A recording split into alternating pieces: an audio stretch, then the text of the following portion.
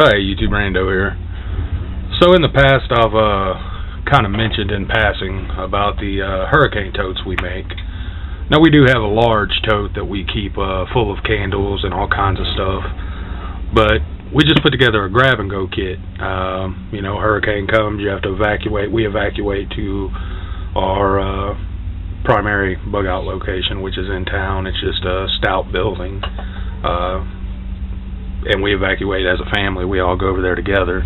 We bring supplies. So instead of carrying the big tote, uh, we'll just bring this one, and hopefully my house don't blow down, and we can always come back and get the big tote if needed. But uh, we just wanted a little grab and go kit that we can go with, and it's not complete yet. There's some things missing out of here, like a first aid kit. Uh, we do have the home first aid kit, and we would more than likely bring that with us.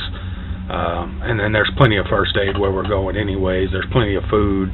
Uh, so we did put a little bit of food in here, but not much. Um, so let's just jump into it. I'll show you what we came up with. Look in the bottom here. Here's some candles. We have a little lantern, flashlight.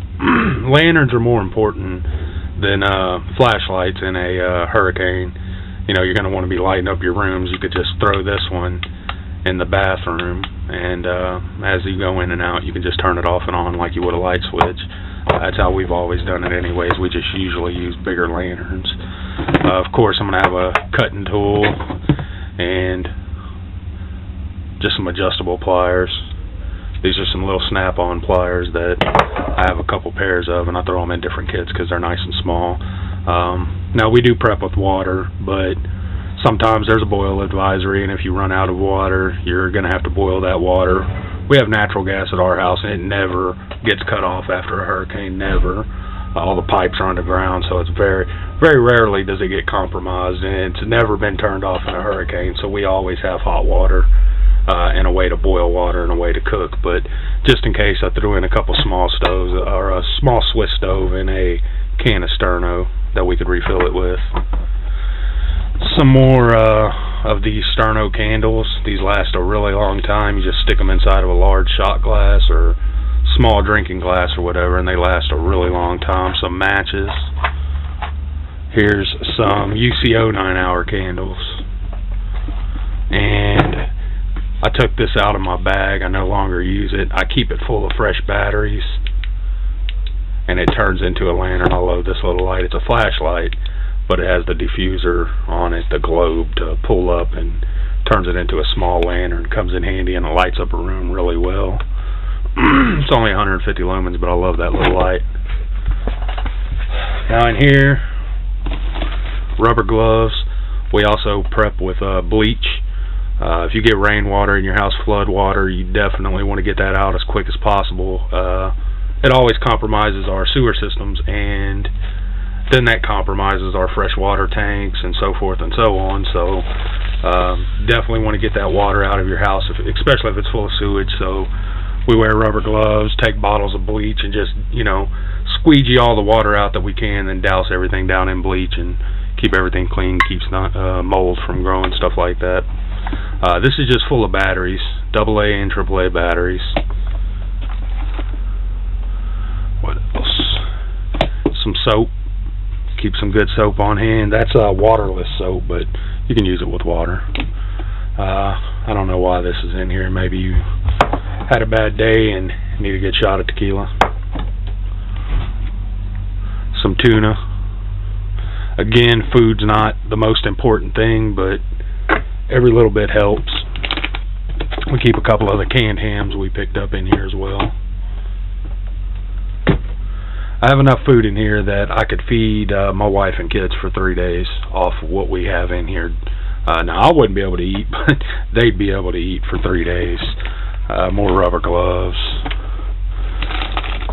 Another small bag of oatmeal. There's some Clif bars in there. That's three days worth the uh, worth of breakfast for them three, uh, just in oatmeal alone, and then some Clif bars for extra energy or whatever. Some powdered milk. I keep these little powdered milks in uh, my bug out bag as well, so we would have plenty of milk. It's always good to have milk with your kids. and if you get it cold, they never know the difference. Last two items, I have the UCO candle lantern. It uses the 9-hour candles. Uh, this one's been burned a little bit. I want to say maybe 10-15 minutes, so it's still probably got eight and a half hours on it at least. And then we have three 9-hour candles for it, so potentially we have four days worth of light with these at nighttime. So I carry this in there. I took it. I used to carry this in my camp pack, and I no longer do. So I went ahead and threw it in here. And then this is one of the uh, hand crank radios we just looked at, the WeatherX radio. AM FM, you want weather band on your radio. Uh, and this is a flashlight, however, I don't know if it's going to show it. There's a light strip on the handle that turns it into a nice lantern. Uh, it doesn't light, you know, all the way around it, so you would have to set it in the corner or something, but uh, it would work. This runs on D-cell batteries, uh, but it has an inline uh, battery that you can crank on, and uh, so you don't have to have D-cell batteries for it to work, and you can keep up with the weather and all that good stuff. Always keep a uh, hand crank radio in there for sure, and uh, if you can get a light on it or something multi-purpose, that's great. Um, so there is some stuff in here that you can see that we need. Uh, to get extra stuff in here, I'll be taking food out as we go. Uh, I just like to keep the spaces full and I don't like uh, to have any wasted space. So until we get those items, we're going to go ahead and keep it full of food. Uh, and if we do have to grab and go, then we grab and go and we have a little bit of food for us. So until we get it full of the items we have that we want to go in here, like I do want to put a small first aid kit in here, uh, some more batteries. Definitely want to buy a couple large packs of brand new batteries and throw them in there. I want to get some D-cell batteries for this, and I have a hot water heater. Uh, that's a gas hot water heater that the igniter runs on batteries, so it's not on the electrical grid, and we could still have hot water if the batteries go out, because uh, you cannot light that thing manually no matter what you do. So, um, you know, just some backup batteries and stuff like that, and first aid kits. What we're going to be throwing in here besides what's in here now, uh, maybe some more candles.